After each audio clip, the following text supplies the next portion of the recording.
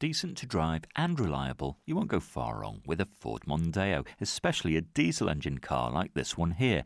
It comes from 2008, it's got a powerful 2 litre under the bonnet, the titanium specification, and five doors, making it nice and accessible for front and back passengers. Looks the business too with its silver paintwork.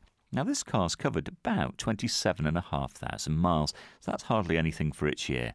Inside, cloth seats, spacious cabin, you've got climate control, a multi changer CD player. If you do a lot of motorway driving, well, the cruise control feature is brilliant and a great help on the move.